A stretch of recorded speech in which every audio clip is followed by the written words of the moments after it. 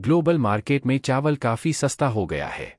इसकी कीमतों में 600 डॉलर प्रति टन से अधिक की गिरावट दर्ज की गई है। हालाँकि, जून से जुलाई के आसपास इसके रेट में बढ़ोतरी भी हो सकती है।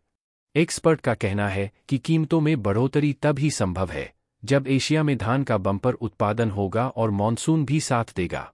मिली जानकारी के मुताबिक, चावल की कीमतों में गिरावट इसलिए आई है क्योंकि भारतीय सीमा शुल्क अधिकारियों ने खेपों की जाँच कड़ी कर दी है। इससे उबले और सफ़ेद चावल के शिपमेंट रुक गए हैं।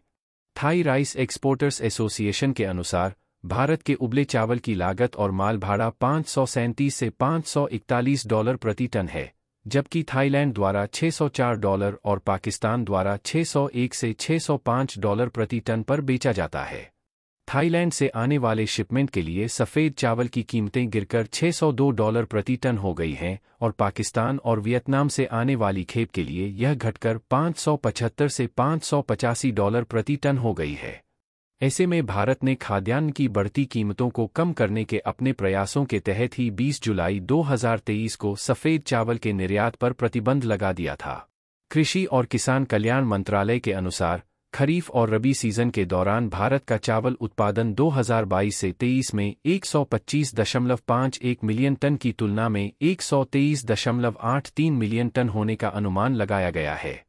वहीं जायद या ग्रीष्मकालीन चावल का उत्पादन लगभग 10 मिलियन टन है और इसके परिणाम की प्रतीक्षा है। अमेरिकी कृषि विभाग के अनुसार पानी की कम उपलब्धता के कारण 2023 से 24 में थाईलैंड का चावल उत्पादन 19.9 मिलियन टन होने का अनुमान है, जो 2022 से 23 से 5 प्रतिशत कम है। वियतनाम का उत्पादन एक साल पहले के 43.1 मिलियन टन के मुकाबले 43.2 मिलियन टन होने का अनुमान है।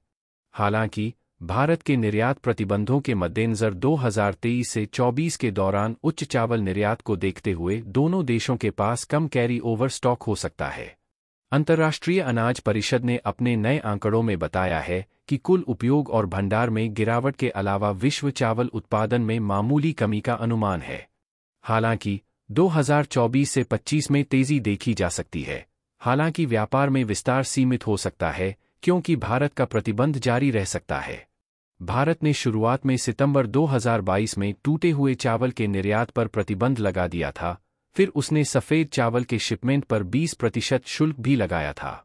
जुलाई 2023 में उसने सफ़ेद चावल के निर्यात पर प्रतिबंध लगा दिया और बासमती चावल पर 950 डॉलर प्रति टन का न्यूनतम निर्यात मूल्य तय करने के अलावा उबले चावल के शिपमेंट पर 20 प्रतिशत शुल्क लगाया।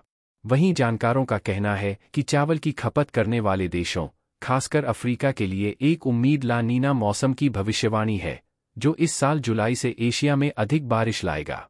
2023 से 24 के दौरान चावल का उत्पादन अल नीनो मौसम से प्रभावित हुआ, जो जून 2023 में उभरा, जिसके परिणामस्वरूप पूरे एशिया, विशेष रूप से भारत और थाईलैंड में शुष्क मौसम हुआ है।